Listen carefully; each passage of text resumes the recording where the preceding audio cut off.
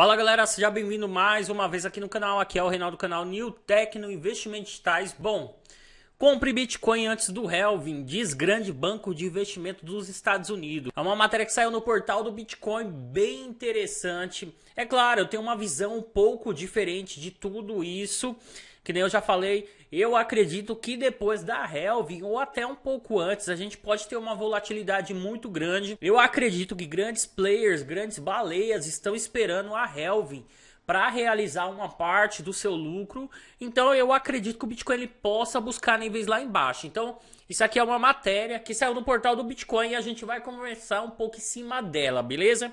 Mas eu já queria pedir para vocês, quem não é inscrito no nosso canal, está conhecendo nosso canal pela primeira vez, não se esqueça, se este conteúdo fez alguma diferença para você, não esqueça de se inscrever no nosso canal. Se quiser dar este apoio para o nosso canal continuar crescendo também e também não esqueça de dar seu like, isso é importante demais pra gente.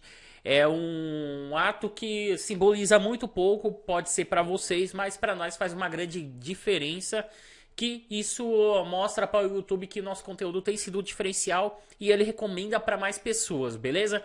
Então vamos lá, sem perca de tempo.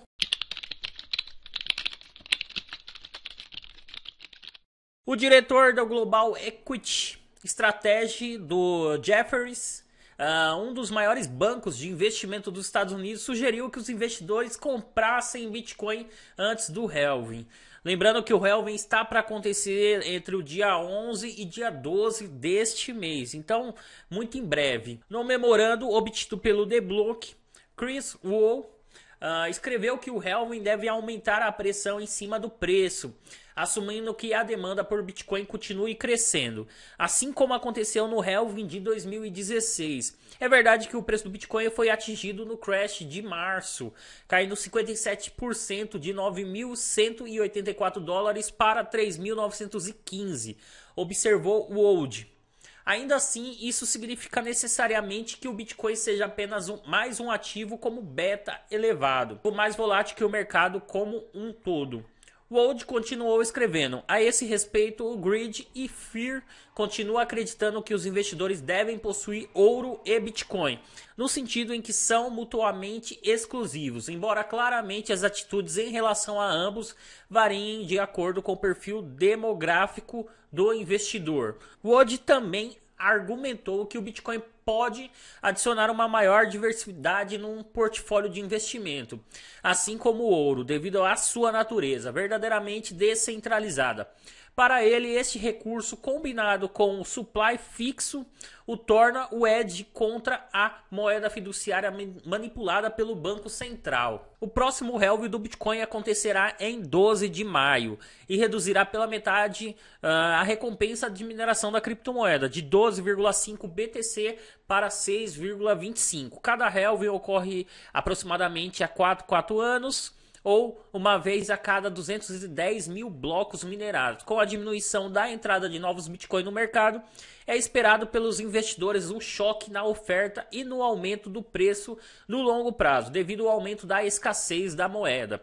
A inflação anual do Bitcoin passará a 1,8% ao ano. Então aqui é, palavras de um grande banco de investimento dos Estados Unidos. Agora, principalmente que a gente está passando por uma crise deste vírus, uh, vários investidores que criticavam as criptomoedas estão vendo como possibilidade entrar para o Bitcoin, já que o Bitcoin ele é escasso. O Bitcoin é projetado só para ter 21 milhões de unidades. Eu estava vendo uma matéria hoje relacionada aqui no Brasil. Sabemos que todo o mundo está passando pela mesma dificuldade, não é exclusivamente aqui do Brasil. Mas o Paulo Guedes, que é um cara que eu admiro, que faz parte do Ministério da Economia aqui no Brasil, ele está vendo como possibilidade imprimir dinheiro. Mesmo ele sendo um cara liberal, sendo um cara que tipo tenta, ele pensa que o Estado ele tem que interferir menos na vida do cidadão. Ele tá está planejando sim, em último caso, assim como está baixando a taxa de juros do país, a taxa Selic, uh, está imprimindo também dinheiro. Então isso aí será totalmente ruim. Será bom pelo lado dos Bitcoin, das criptomoedas, que tem um supply fixo. Uh, que é uma moeda que não pode ser controlada, não tem como você mudar o código lá, não, vamos imprimir mais 2 milhões de Bitcoin. Não, não tem como, não tem como. A única coisa que pode acontecer no Bitcoin é aumentar suas casas decimais. Então, a partir do momento que o Bitcoin ele poderá estar tá valendo bastante, a única coisa que pode ser alterado é exatamente aumentar suas casas decimais. Então, é interessante sim você ter Bitcoin na sua carteira pensando no longo prazo, assim como o ouro. O ouro também é outro ativo que no momento de crise ele tem um histórico muito forte para proteger o seu capital. Mas o Bitcoin ele vem sendo escolhido também como uma reserva de valor bem importante. Ontem mesmo eu fiz um vídeo gravando falando sobre isso, sobre o Bitcoin não ter falhado como uma reserva de valor. Ele sofreu pânico igual as outras moedas, assim como o ouro caiu, a prata também caiu, tudo caiu mas ele já se recuperou e agora a gente tem um momento bem estável. O que interfere um pouco no Bitcoin é extremamente a sua volatilidade. Isso aí deixa muitas pessoas com o pé atrás, mas lembrando que a gente só vai ter 21 milhões de unidades. Pessoas que compraram o Bitcoin em 2012, 2009, 2011 ainda tem um forte peso e manipulação das criptomoedas. Então, isso tende a mudar. Eu acredito sim, que eu estava falando no grupo ontem, uh, que até 2024 a gente poderá ver o Bitcoin em patamares muito maior.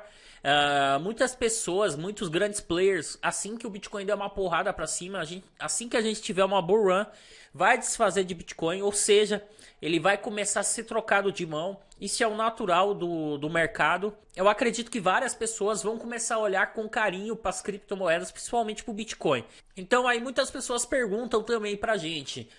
Está na hora de comprar Bitcoin? Tudo depende do que você é no mercado. Se você é trader, uh, você tem que ficar sempre observando para tentar comprar minimamente uh, no preço mínimo uh, possível. Mas se você tem uma visão um pouco de longo prazo, todo dia é dia para você comprar Bitcoin. Se você tem uma visão de longo prazo, faça a sua estratégia. Você já escutou o Primo Rico falar sobre a estratégia de todo mês você está aportando, faça isso no mercado das criptomoedas também. Todo mês você aporte. Não olhe se o Bitcoin está mais barato ou se está mais caro. Compre 100 reais. Vai comprando todo mês 100 reais.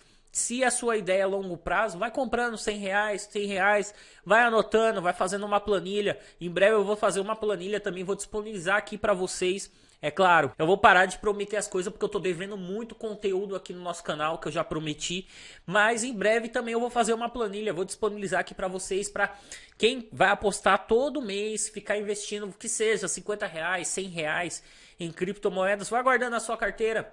Isso aí eu acho que lá na frente, é claro, tudo é um jogo, tudo é uma aposta. Lá na frente ele poderá dar um grande resultado na sua carteira, beleza? Então era isso que eu queria trazer neste vídeo. Você acha que a Helve ela poderá impulsionar o preço do Bitcoin? Ou vocês acreditam que nem eu que a gente poderá sofrer uma correção? É claro, Uh, eu já fiz um vídeo falando que eu aposto que no final do ano o Bitcoin possa estar na região de 14, 15 mil dólares. Mas lembrando que a gente está em quase 9 mil dólares agora, mas eu aposto que o Bitcoin ainda vai corrigir após a Helve, após toda essa especulação em cima da Helve, beleza? Mas deixa aqui nos comentários o que, que vocês esperam também do Bitcoin, o que, que vocês acham que irá acontecer com o Bitcoin neste ano, beleza? Então era isso aí que eu queria trazer para vocês. Quem gostou do vídeo, não esqueça de dar seu like, ativar o sininho para receber notificações de novos vídeos sempre quando a gente postar conteúdos novos aqui no nosso canal. Beleza? Então é isso, até a próxima e fui!